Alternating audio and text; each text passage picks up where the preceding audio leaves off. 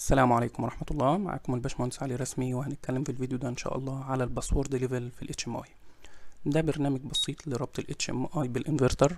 في أكتر من base screen زي parameter 1 و parameter 2 اللي بقدر من خلالهم أغير في قيمة البارامترات في الإنفرتر زي parameter 0 اللي هو التورك بوست والماكسيموم فريكوانسي والمينيمم فريكوانسي والبيز فريكوانسي والبيز سكرين بتاع بارامتر 2 السبيد ديسبلاي والاب تو فريكوانسي والاوتبوت فريكوانسي وال base screen بتاع الجرافيك اللي أقدر أشوف منه الجرافيك بتاع ال output frequency وال output current ولو في alarm ولا ما فيش وال monitoring اللي أقدر أعمل منه forward و reverse زي ما قلبت دلوقتي أنا بقدر أتنقل من شاشة لشاشة من غير أي قيود قدامي. المطلوب هنا إن أعمل password لكل level يعني parameter 1 و parameter 2 أخليها خاصة بالمهندسين ب password خاص لوحده وال monitor وال graphic دي أخليها للفنيين ب password لوحده. دي هنعملها إزاي؟ قفلت simulation وهروح لل screen properties الخاصة بكل base screen أنا عاوز أقسم ال security لليفلين. level للفني ده هيبقى level واحد و level للمهندس وده هيبقى level اتنين. هخلي ال monitoring level واحد هو والجرافيك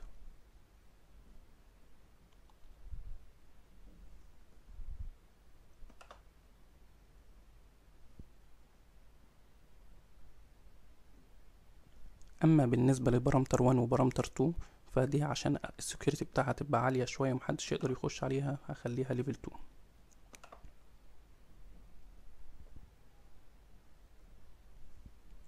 ونفس الأمر مع parameter 2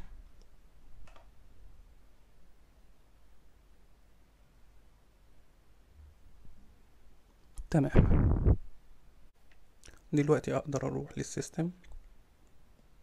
واختار منه security.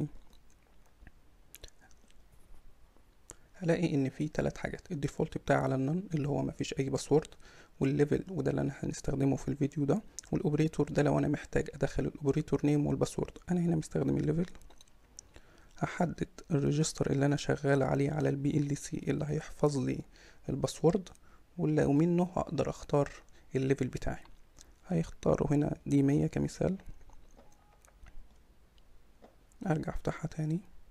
أنا شغال على level واحد و level اتنين. هدي ال level واحد password أربع وحايد.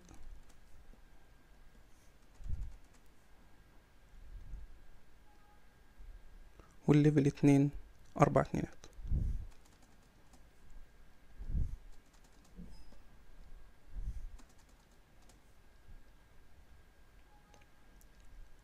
وأروح لل simulation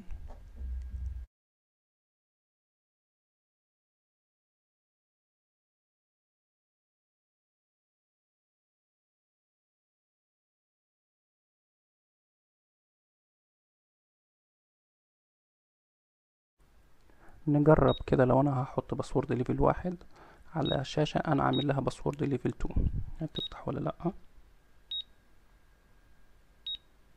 منفعتش طب تمام. نفتح بقى ال monitor نجرب. عشان أنا دخلت ال password الصح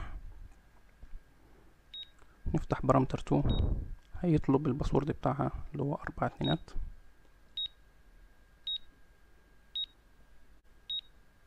وفتحنا دلوقتي. أتمنى يكون الفيديو بسيط ومفيد. واستنونا إن شاء الله في فيديوهات جاية.